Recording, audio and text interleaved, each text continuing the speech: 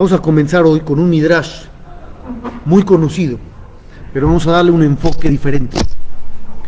El midrash nos dice el comportamiento de cuatro reyes de Israel y las diferencias que había entre cada uno de ellos. Estamos hablando del rey David, del rey Asa, del rey Yehoshaphat y del rey Hizkiyahu. Cuatro reyes, cuatro historias. Dice el Midrash, David Amar, David dijo, Erdof Oibai Basigem, perseguiré a mis enemigos, los voy a alcanzar y no regresaré hasta haber acabado con ellos.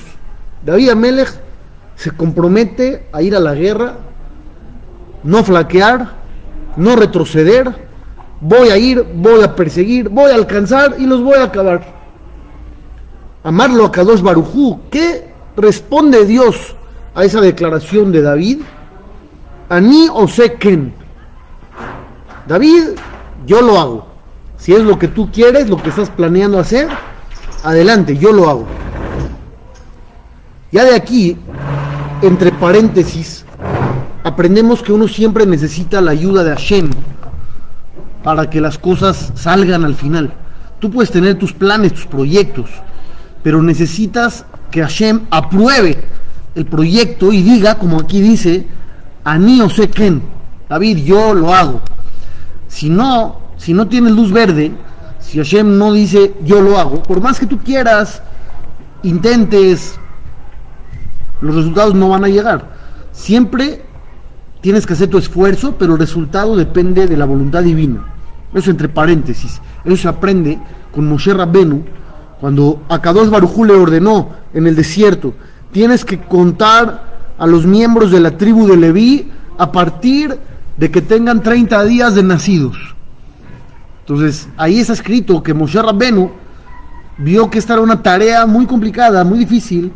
Si me dices cuenta a los adultos, haces un censo de población y vivienda, está sencillo, pero si me dices a los bebés de un mes, dijo Moshe, ¿qué voy a ir yo a cada casa a ver cuántos bebés hay, en dónde está la cuna del niño, cómo verifico la existencia del bebé, o me apoyo en la palabra de los papás, o qué hago. No, es que puedo verlo como si fuera un adulto, aquí está el Señor, me trae su credencial de lector y ya está. Entonces Moshe se sorprendió, dijo, tengo dudas, ¿cómo lo voy a hacer? Entonces, los jajamí nos enseñan que a Kadosh Barujú le dijo, tú haz lo tuyo y déjame a mí lo mío. Fue Moshe Rabbenu a las casas y antes de entrar, ya desde la puerta, una voz le anunciaba cuántos bebés había. Tú tranquilo, no necesitas más. Pero necesitamos siempre hacer lo nuestro. Entonces regresemos al rey David. El rey David declaró, yo voy a ir a perseguir, los voy a alcanzar, voy a derrotarlos y Hashem le dijo, va. Pasamos al siguiente rey, el rey Asa. ¿Qué pasó con el rey Asa? Este rey ya no se creía, o por algún motivo que alguna vez comentamos, no dijo, voy a ser como David, de alcanzar, matar y regresar. A Nierdov, yo solamente los voy a perseguir, nada más persigo. Ya Dios que haga lo demás. ¿Cuál fue la respuesta de Hashem? Ani o Seken. Ok, yo lo voy a hacer. Tú no alcances a los enemigos, no los mates. Tú persigue, si es lo que dices que puedes hacer, hazlo. Yo hago lo demás y así pasó. El tercer rey, Yehoshaphat, dice el Midrash, dijo, yo no tengo fuerza ni de matar como David, ni de perseguir como Asa, yo solamente voy a cantar, voy a rezar, voy a pedir, y tú Hashem, haz el resto.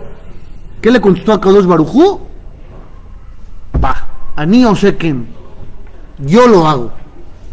Y llegamos al último rey de la lista, el rey donde dijo, yo no tengo fuerza ni de matar, ni de perseguir, ni de cantar, yo no voy a ir a dormir. Y tú, Hashem, haz lo tuyo. Amarlo a Kadosh Barujú, a sé quién. Dijo Hashem, Va, tú vete a dormir. Y el libro dice que esa noche hubo una epidemia en el campamento enemigo, murieron todos. al final salió. ¿Cuál es el enfoque sobre esas cuatro historias? Hay muchos aprendizajes aquí, en alguna vez lo hemos comentado, pero vamos a dar uno nuevo, Bezrat Hashem. El enfoque es así. Dios le pide a cada persona lo que puede hacer. Gracias. Le pide a cada uno su máximo. ¿Qué es tu máximo? Yo quiero decir algo diferente a lo que dice el Midrash. Aquí hablamos de cuatro personas, que cada una se sintió capaz de algo y ese algo lo hizo. Si eres más capaz, haz más. Eres menos capaz, haz un poco menos, pero siempre haz. Yo quiero decir algo nuevo, diferente. Puede ser que estas cuatro historias le sucedan al mismo individuo en diferentes etapas de su vida.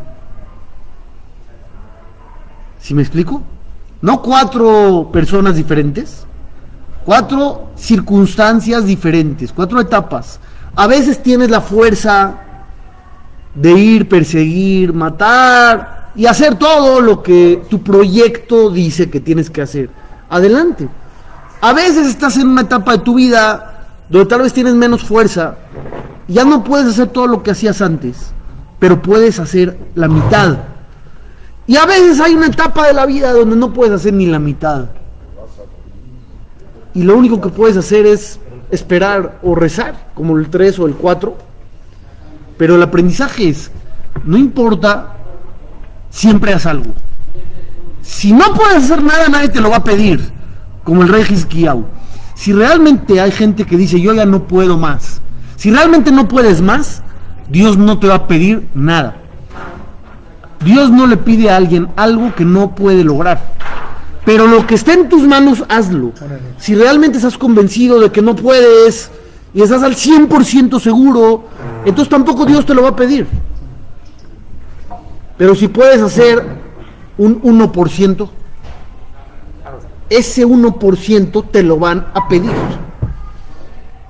¿Estamos entendiendo cómo funciona esto? Todo lo que puedas hacer, hazlo. Todo. Puede ser que todo es una décima parte. Para ti, ese es tu todo. Y lo tienes que llevar a cabo. Cuando alguien dice, ya no doy más, ¿qué sí das? Ya no puedo más. Ok, ¿qué sí puedes? Ya no puedes con todo el paquete, pero ¿qué sí puedes hacer?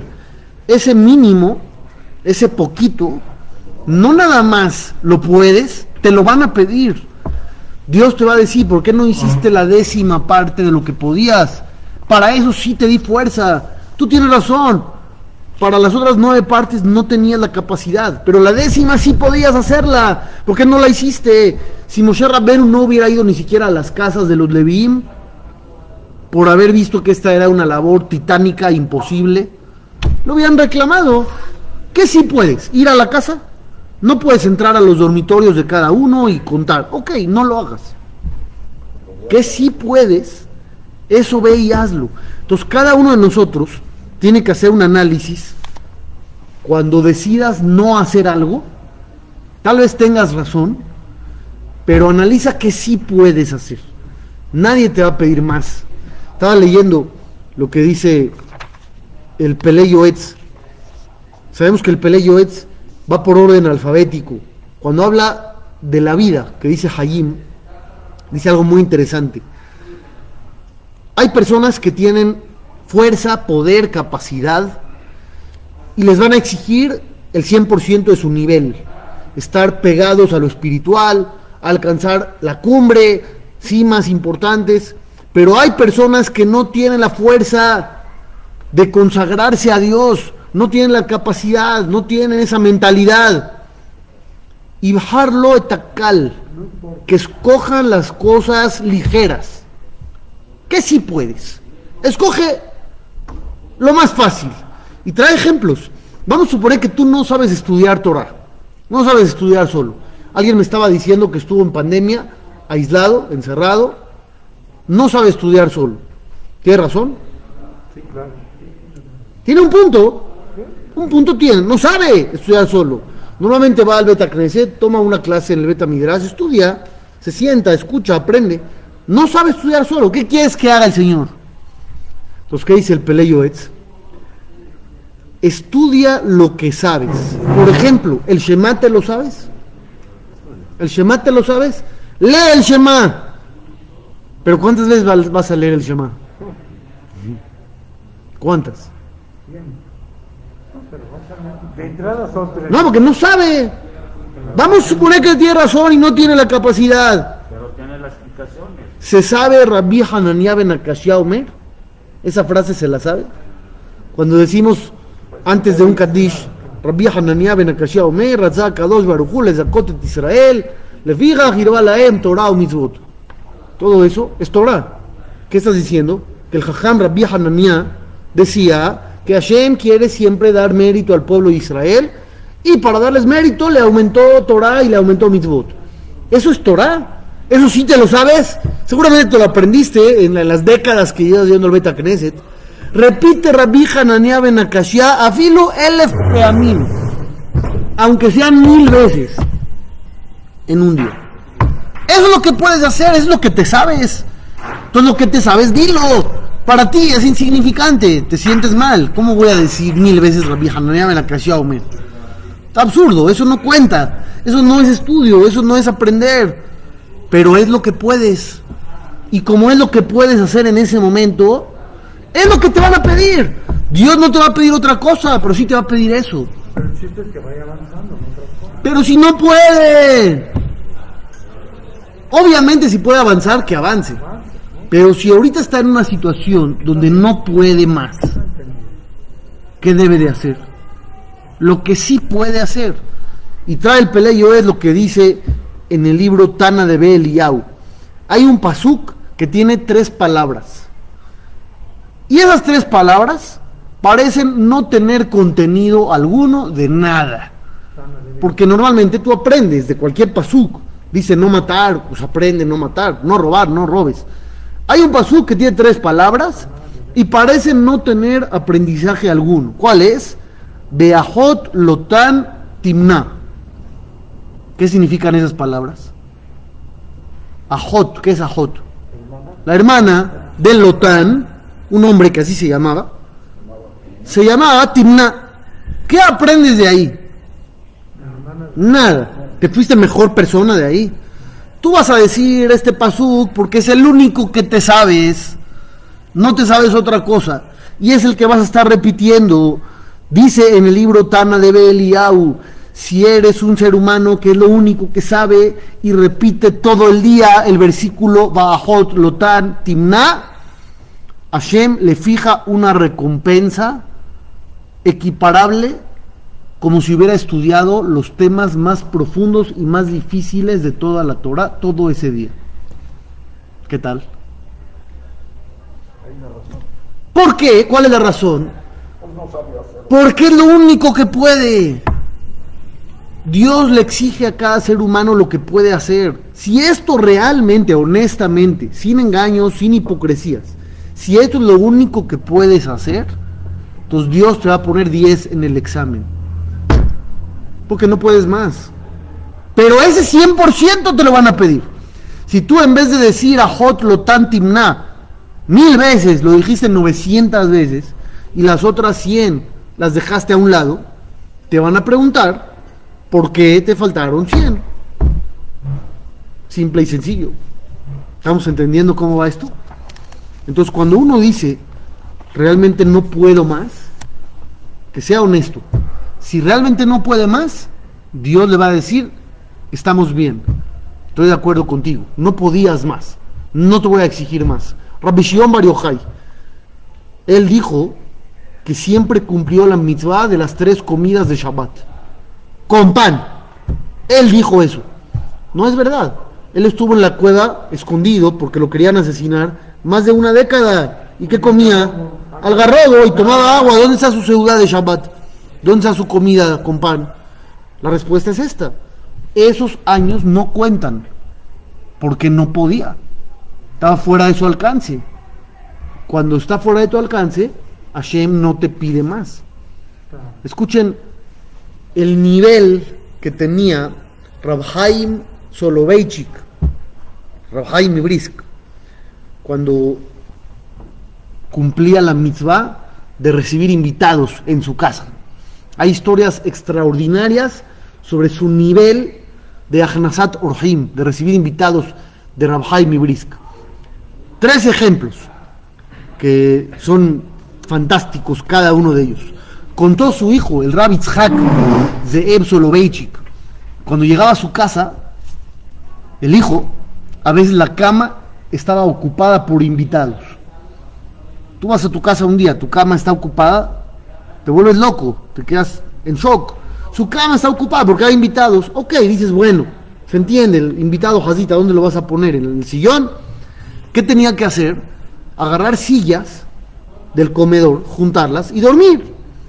En una ocasión, un invitado le reclamó de que se estaba llevando demasiadas sillas. Dobla los pies, ¿para qué quieres cuatro sillas? Agarra tres, dóblate y duérmete ahí. El invitado le estaba reclamando. La indicación en la casa, ¿saben cuál era? No se le puede reclamar nada a los invitados. Pero él te está reclamando, tú eres el hijo, vives ahí, que estás agarrando muchas sillas para dormir, es absurdo. La indicación está en pie. Cero reclamo a los invitados. Segunda historia. Hubo un invitado en particular que vio que en esta casa hay libertad absoluta para los forasteros. ¿Qué hizo? Empezó a agarrar libros cada vez que iba y se los llevaba. Un libro de librero, libro del jajam, no era un knis, no es público, no es librería. Libro propio de la casa, agarraba un libro, se lo llevaba. ¿Cuál era la indicación de Rabhaim? No se le puede reclamar. No se le reclama nada al invitado. Empezó a llevar otro día, otro día, otro día, hasta que se acabó los libros del jajam. El último día que llegó, se llevó el librero. ¿Pueden creer eso? ¿Cómo? Es una locura. Te acabaste los libros. Estás robando. Y el último día que ya no quedaban libros, los tenía él todos, se llevó al librero del jajam para tener en dónde acomodar. Pero la indicación seguía en pie. No se le reclama nada al invitado. Tercera historia. Dice que la gente que empezó a ir a la casa y se dio cuenta que aquí había un montón de forasteros y de extranjeros, de gente recién llegada, empezaron a pegar en las paredes anuncios personales, como si fuera Luach Modaot, el, el pizarrón de los anuncios de, del lugar, cada quien pegaba sus ofertas, sus negocios, sus descuentos, mira, yo vendo esto, ven conmigo, yo vendo aquello. Imagínate, vas a tu casa y el cuate que acabas de recibir porque no tiene dónde dormir, pega así en la sala un anuncio de su negocio. ¿Qué haces? Pero la indicación era firme. No se puede decir a, a los invitados, calladito, estás bien. Cuando uno lee esto, dice, yo no puedo cumplir la mitzvah de Ahanasat Urhaim. Yo no puedo cumplir la mitzvah de recibir invitados. Mentira. Tal vez no puedas cumplir como Rabhaim Soloveitchik. Que sí puedes. Que sí puedes. Lo que esté a tu alcance lo tienes que hacer. Esto, para el 99% de los mortales, está fuera de alcance. ¿Estamos de acuerdo? ¿Tú crees que Dios te va a exigir esto? Si eres Rabhaim, sí. Tal vez a gente común no se lo van a exigir. Pero que sí te van a exigir? Todo lo que seas capaz de hacer. Eso nadie te lo va a descontar. Dice el Peleyo Etz en otro de sus apartados. Heshek, hay que tener ganas de hacer las cosas. Tener ganas, tener deseo, tener motivación es un punto básico. Dabar Shebehová es obligatorio. ¿Qué pasa cuando tú pierdes la motivación de hacer las cosas? Estás perdido. Estás sentenciado. Porque si no hay motivación, no hay nada, ya no hago nada. ¿Por qué hacer las cosas si no tengo ganas? Ayer una persona me estaba contando que ya no tiene ganas de cuidar Shabbat. Cuida Shabbat, ya tiene muchos años que cuida Shabbat. Se acabó la gasolina, se acabaron las ganas. ¿Qué haces? ¿Tienen ideas? ¿Qué le aconsejarían? Que siga, que le eche ganas. Ya no hay ganas. Se acabaron las ganas. Hay que motivarlo, que siga. Entonces, dicen los jajamim en la Gemara, Leolam Yaasok Adam Betorah Ben Mitzvot, Afilu Shelol Ishma. Siempre debe uno de ocuparse en cumplir, aunque no tengas ese interés en honor a Dios puro, genuino, aunque no lo tengas, no dejes de hacer. Siempre haz. Mitoch Shelol Ishma, Baal Ishma. Y vas a ver que va a llegar un tiempo donde encuentres gusto por las cosas. Tal vez hoy no lo tienes, pero no dejes. Al final el gusto te va a llegar, el deseo se va a revivir. Puede ser que esté apagado, no estás sentenciado a que permanezca de esa manera. En algún momento las cosas pueden retomar su curso. Entonces lo que está diciendo es muy importante. Cuando tú dices ya no puedo, ya no doy, tienes dos opciones. O esforzarte el extra para sacar de algún lado o tirar todo por la borda. ¿Qué haces? Vamos a ser honestos hoy, ¿ok? Vamos a hablar con honestidad. Siempre hay ganas de ser esposo, de ser padre, de ser hermano, de ser hijo, o a veces dices ya, ya no doy más. Seamos honestos. Hay altibajos. Eso, hay altibajos. Hay situaciones donde uno dice, ya no doy más, ya no puedo. Tienes dos opciones. O tirar la toalla o salir. Decir, ¿sabes qué? Que sí puedo. Tal vez no tengo ganas de hacer las cosas que hacía, pero que sí puedo. No tires por completo las cosas. Siempre haz lo que puedas hacer. Aunque no sea el 100%, mínimo te agarras. Con estar agarrado de las cosas, al final tienes de dónde resurgir. Todo cuenta. Claro. Mientras estés agarrado de algo, puedes resurgir después. Pero si tiras todo, ya a veces no hay de dónde resurgir. Entonces, esto es importantísimo. Cuando nos dice que el rey David, el rey Asa, Yehoshaphat, Hizkiyahu, cada uno hacía lo suyo, era lo que podían hacer. El que podía hacer 100 hacía 100, el que podía 80, 80, el que podía 10, 10. Pero hacían lo que podían hacer. Eso es importante. Dice el Mesilat Yesharim, aquella persona que quiere ser merecedor de servir a su creador, tiene que ser fuerte en contra de su propia naturaleza, en contra de ti mismo, o atzmo, en contra de tu esencia. No siempre fluyen las cosas. A veces hay que ir en contra de uno. Hay mucha gente que te dice, yo si no lo siento, no lo hago. ¿Está bien? ¿Qué pasa el día que sientas que ya no quieres hacer cosas que son básicas? También las vas a tirar. Hay mucha gente hoy en día que te dice, yo ya no quiero ser madre de familia, ya no quiero ser padre de familia. Tú ya lo eres, ¿eh? no importa. Ya no quiero, ya. Quiero buscar mi propio camino. Quiero descubrir quién soy realmente. Yo no soy padre, no soy esposo, no soy esposa, hermano. Soy yo. Y voy a ir a buscar mi propio yo. Y entonces me deshago de todas mis responsabilidades. ¿Creen que estoy hablando barbaridades? No estoy hablando barbaridades. Ojalá fueran barbaridades. No son barbaridades. Claro, sí existe. Son realidades de gente que de la noche a la mañana decidió que ya no quiere ser lo que ha sido 40, 50, 60 años. Oye, pero ¿qué hay con la responsabilidad? No querías ser padre, lo hubieras pensado antes de traer a esos hijos al mundo. Hoy eres un padre y tienes la responsabilidad. No, yo me voy a ir a buscar a mí mismo.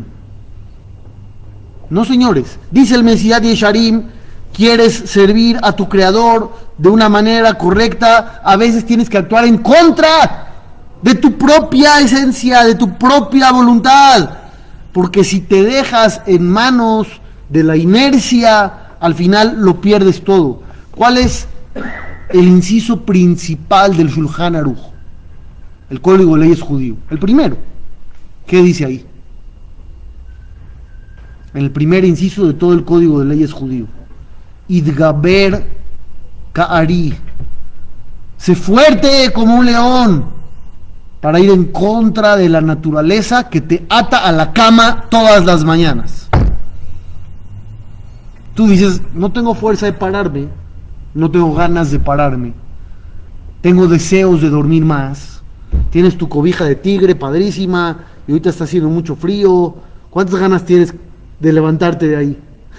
La verdad, cero, cero. Si fuera por ti y no tuvieras necesidad de trabajar y no tuvieras necesidad de ir a ningún lado, te quedarías ahí a invernar. Estaba leyendo o escuché en algún noticiero que decía que los caracoles tienen siestas de una semana. Siestas. Pero sus dormidas oficiales, ¿cuánto duran? Tres años. ¿Lo escuchó usted también? Tres años. Ya les dieron ganas de ser caracoles. ¿No? o Arminan. Itgaber Kaari la Amod la Abodat Bor'o. Dice en el sé fuerte como un león para levantarte por las mañanas. Fuerte en contra de tu naturaleza. Sheyehu Meorea Shahar. Que tú despiertes a la mañana. No que la mañana te despierte a ti. Tú despiertas al día, pero tienes que ser fuerte, como dice acá. Dice el Pasuk en el libro de Yehoshua. ¿Quién fue Yehoshua Binun? Yoshua Binun, sucesor de Moshe. Sucesor. Al principio del libro de Yehoshua hay una indicación de parte de Dios. Hazak Be'ematz Me'od. Tienes que ser fuerte, Muy. fuerte y valiente. ¿Qué tan valiente? Me'od, muy valiente. Lishmor la azot quejó la Torah para poder cumplir, llevar a cabo toda la Torah. Moshe Abdi, que te ordenó Moshe mi siervo, dice Dios. Hay que tener fuerza y hay que tener valentía, pero no es suficiente. Mucha fuerza se exige y mucha valentía, dice el Mesías Yisharín. ¿Sabes por qué? Josek Gadol Tzarich, porque se requiere demasiada fuerza. Le misherotzelik fot ateba el para el que quiere ir en contra de su propia naturaleza y realidad. Esto es maravilloso, maravilloso. Hay que ir en contra de uno mismo varias veces, es necesario en la vida. No siempre las cosas van a fluir, tienes que ir en contra. A veces tienes ganas de gritarle al otro una sarta de groserías porque a tu criterio se las merece. Y tienes las ganas, el deseo está ahí. ¿Qué te dice la Torah? No. Tienes que ejecutar en ese momento, activar la humildad, la calma, no el enojo, la paz. Bakesh shalom berrofeu, como dice el pasuk. Busca la paz y persíguela. A veces se te escapa, a veces la gente es muy difícil. Quieres hacer la paz con alguien y no se deja. Te la pone difícil cada vez. Rodfeu, persíguela. ¿Es fácil? No, no es fácil. Pero es lo que te dice la Torah. Dice el Talmud en el tratado de Ketubot. ¿Conocen a Hananiah, Mishael y Azaria? ¿Conocen a esos tres personajes? Vivieron un episodio parecido al de Abraham Avino cuando se arrojó a la hoguera para no negar la existencia de Hashem. Hananiah, Mishael y Azaria vivieron una época muy difícil donde el rey negaba la Torah de Hashem, él mismo se creía Dios y tuvieron un reto donde tuvieron que arriesgar sus vidas. Se arrojaron a la hoguera, un milagro divino, se salvaron. ¿Son héroes o no? ¿Qué dicen? Así de primera, según lo que acaban de escuchar. Pues sí, 100% sí, dieron su vida por Hashem, no sabían que se iban a salvar. No sabían que les iban a hacer un milagro y no iban a morir en, en el fuego. Ok, ¿saben qué dice la Gemara? Algo insólito. Llega la Gemara y dice, ama Rab, dice Rab, uno de los jajamim más importantes del Talmud. Ilmale Nigdu le Hananiah Mishael Bazaria Palhu le Tzalma. Si en vez de amenazarlos con la muerte, la amenaza hubiera sido tortura, Hananiah, Mishael y Azaria hubieran terminado postrándose ante el ídolo. Pero la amenaza no fue la tortura, ¿ah? fue echarse al fuego.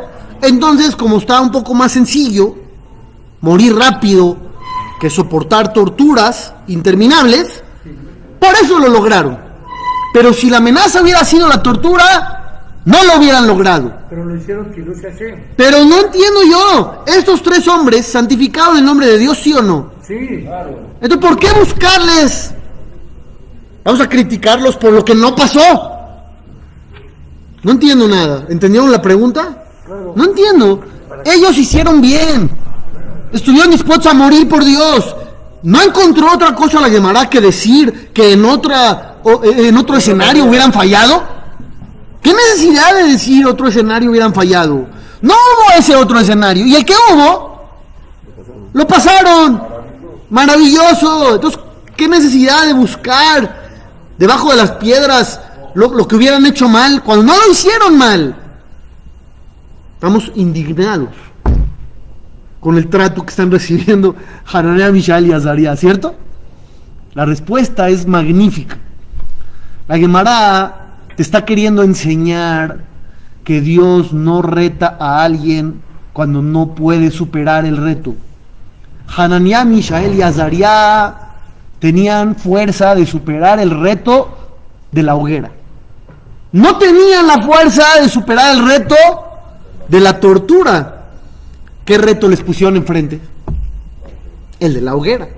La Gemara te está enseñando que cuando Dios te pone un reto enfrente, es porque lo puedes superar. Hananiah, Mishael y Azaria, si hubieran sido en otra época o otras personas y los hubieran retado con otra cosa, no hubieran podido. Por eso no les pusieron ese reto. ¿Por qué no los torturaron? Porque se hubieran inclinado al ídolo. No tenían la capacidad, pero sí tenían la capacidad de superar la hoguera y es lo que vivieron. Entonces re- retomamos lo que estábamos platicando al inicio. Todo lo que puedes hacer, haz. Mashiyesh bekojaja hace, dicen los jajanim. Lo que tengas fuerza de hacer, haz. Lo que no puedas hacer, no te lo van a pedir. Pero lo que puedas hacer, te van a pedir hasta la última gota. Entonces siempre hay que retomar ese pensamiento. Si hoy no tengo fuerza de estudiar mis dos horas de Torah al día, no voy a tirar todo. ¿Qué sí puedo? ¿Puedo estudiar una? Entonces estudia una. ¿Puedes estudiar media? Estudia media. ¿Puedes repetir todo el día Rabbi Hananea Melakashia Omer, como dice el Peleyo es? Entonces en el cielo te van a decir, ¿por qué este día no repetiste constantemente el pasuk fácil que te sabías de memoria mil veces? Hay que hacer siempre lo que podemos hacer. No busques que no puedo hacer, busca que sí puedo hacer. Seguimos mañana, Nos vemos.